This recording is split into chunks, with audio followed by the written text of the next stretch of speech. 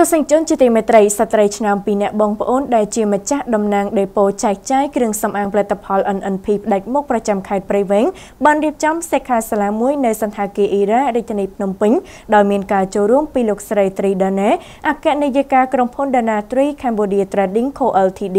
និងមានការចូលរួមពីតំណាងដេប៉ូនិងចែកចាយគ្រឿងសម្អាងមក NNP មកពីបណ្ដាខេត្តរាជធានីភ្នំពេញជាង200នាក់ដើម្បីចែករំលែកបទពិសោធន៍នៅក្នុងការទទួលបានបានជោគជ័យក្នុងការលក់ផលិតផល NNP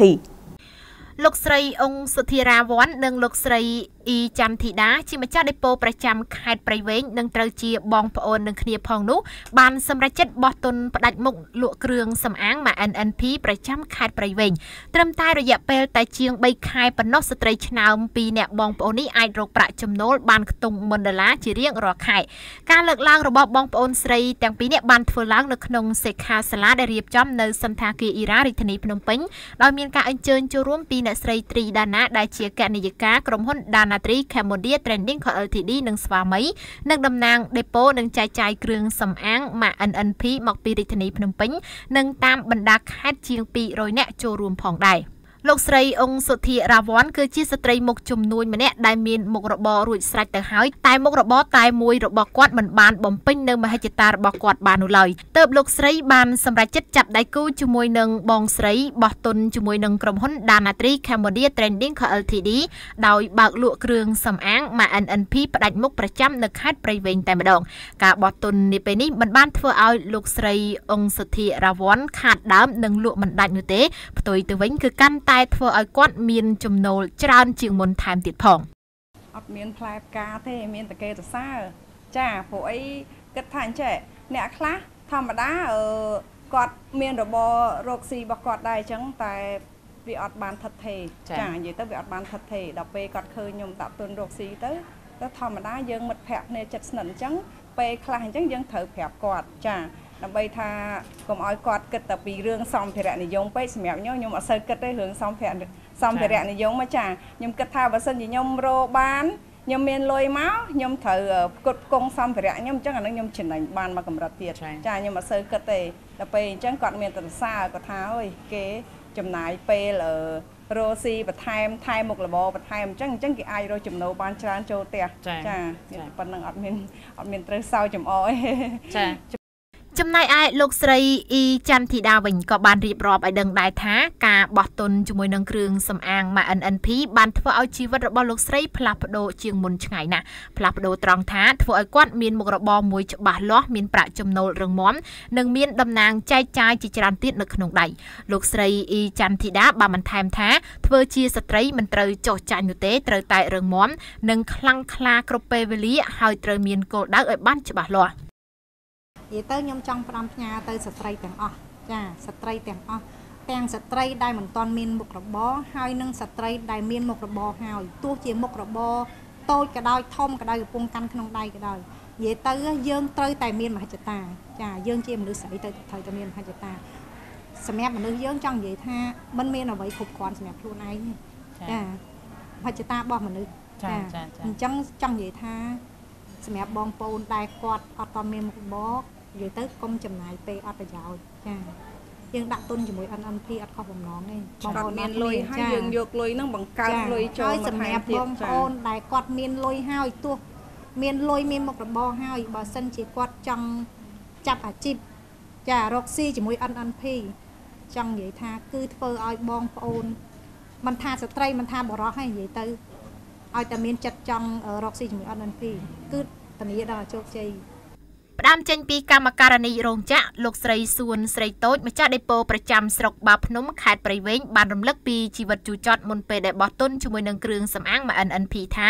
កាលពីនៅជាកម្មការនីរោងចក្រលោកស្រីត្រូវបានថកែដែលជាជនជាតិចិនវាយធ្វើបាបនិងមានការមើងងាយពីសំណាក់អ្នកនៅជុំវិញជាច្រើនអ្នកតែលោកស្រីនៅតែតស៊ូពុះពៀជានិច្ចការពុះពៀរហូតបានជួបជាមួយនឹង NNP រហូតទទួលបានជោគជ័យនឹកស្មានមិនដល់មកដល់ពេលនេះលោកស្រីសួនស្រីតូចចបានសងបំណុលគេអស់ហើយមានទ្រព្យសម្បត្តិផ្ទាល់ខ្លួននិងអាចរកចំណូលបានជាង7000ដុល្លារក្នុងមួយខែមួយខែផងដែរហើយរយៈពេលដែលខ្ញុំដាក់ទុនជាមួយនឹង NNP ហ្នឹងគឺរយៈពេល6ខែ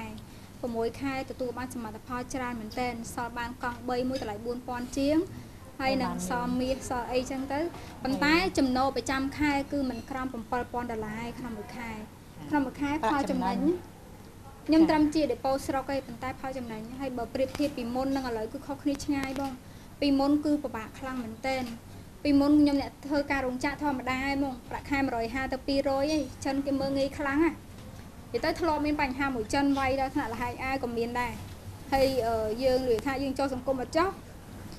មានការមើងងាយពីអ្នកជំនាញខ្លួនអញ្ចឹងណាបាទបាទនិយាយទៅស្ថានភាពគ្រួសារពេលហ្នឹងបាក់បងបាក់ខ្លាំង ប្រើបានគ្រប់គ្រាន់3ពេលប៉ុន្តែ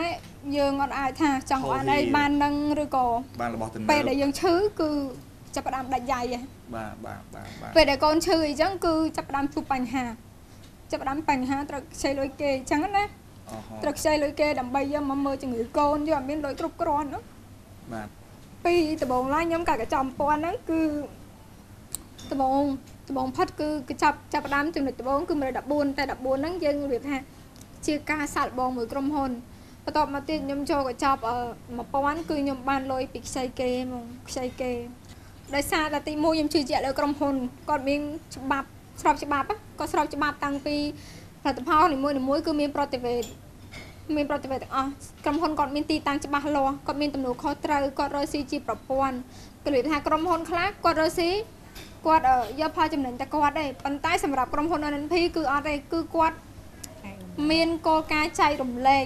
គាត់មានការយកចិត្តទុកដាក់ជាមួយតំណាងចែកចាយដែលចូលរួមហើយគាត់អត់សំខាន់ជាងគេគឺគាត់អត់មានសម្ដែងទេគឺគាត់និយាយតែការពិតអញ្ចឹងណាដូចខ្ញុំអញ្ចឹងរាល់ថ្ងៃគឺគាត់ប្រាប់តែងតែប្រាប់ថាផុសពេលលក់ដាច់ចាំផុសពេលលក់មិនដាច់មិនផុសហើយហើយយើងលក់បានលុយប៉ិតប៉ិតចាំយើងផុសកុំឲ្យសម្ដែងព្រោះដោយសារពីមុនមកខ្ញុំក៏ធ្លាប់ឆ្លងកាត់ជាមួយនឹងក្រុមហ៊ុនដែលឲ្យខ្ញុំសម្ដែងដែរតែកាលហ្នឹងខ្ញុំចូលក្រុមហ៊ុនផ្សេងហ្នឹងគឺកញ្ចប់តូចឯងប៉ុន្តែគេមានតារាងមួយជួរឲ្យខ្ញុំផុស កុហកគេអីចឹងណាតែបន្ទាប់មកទៀតខ្ញុំខ្មាស់មួយអ្នកផ្ទះខ្ញុំមកហ៊ាន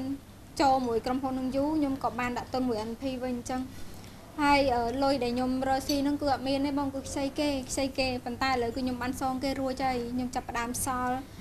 សល់របស់សល់អីវ៉ាន់ហ្វេត្បិតតែសមត្ថផលវាអត់សូវមានច្រើនទេអត់សូវមានច្រើនទេឥឡូវប៉ុន្តែបើជាអីវ៉ាន់វិញគឺអាចចូល5ទៅ60000ដុល្លារនៅក្នុងផ្ទះ នៅក្នុងឱកាសនោះផងដែរអ្នកស្រីត្រីដាណាអគ្គនាយិកាក្រុមហ៊ុន Dana Tree Cambodia Trending Co Ltd នៅក្នុងនាមជាថ្នាក់ដឹកនាំនារីប្រមាណជាជាង60000នាក់អ្នកស្រីត្រីដាណាបានបញ្ជាក់បន្ថែមថាភាពជោគជ័យរបស់ក្រុមហ៊ុន Dana Tree គឺកើតចេញពីកត្តាមួយចំនួន គឺសមត្ថភាពភាពសច្ចៈស្មោះត្រង់និងមិនបោកបញ្ឆោតគេដើម្បីតែប្រយោជន៍ផ្ទាល់ខ្លួននេះគឺជាអ្វីដែលអ្នកស្រីត្រីដាណាអគ្គនាយិកាក្រុមហ៊ុន Dana Tree Cambodia Trending Co Ltd តែងតែប្រាប់ទៅកាន់តំណាងចែកចាយនិង depot ជាង60000នាក់គូបញ្ជាក់ផងដែរថាត្រឹមតែរយៈពេលជាង2ឆ្នាំមកនេះក្រុមហ៊ុន Danatri Cambodia Trending Co Ltd ដែលនាំផ្ដាច់មុខគ្រឿងសម្អាង MNNP បានពង្រីកវិសាលភាពរបស់ខ្លួននៅទូទាំង25រាជធានីភ្នំពេញបច្ចុប្បន្នគឺមាននារីប្រមាណជា60000នាក់ហើយដែលបានរកស៊ីជាមួយនឹង NNP ក្រៅពីបើកជំនួញផ្ដាច់មុខគ្រឿងសម្អាង MNNP ក្រុមហ៊ុន Danatri Cambodia Trending Co Ltd ដែលមានអ្នកស្រីត្រីដាណាជាអគ្គនាយិកាបានបើកអាជីវកម្មថ្មីស្រឡាងបន្ថែមមួយទៀតគឺហាងមាសពេជ្រនិងគ្រឿងអលង្ការដាណាលក់គ្រឿងអលង្ការហើយអាជីវកម្មមួយនេះក៏កំពុងតែរីកចម្រើននិងមានការគាំទ្រពីអតិថិជនដោយនឹកស្មានមិនដល់ឡើយ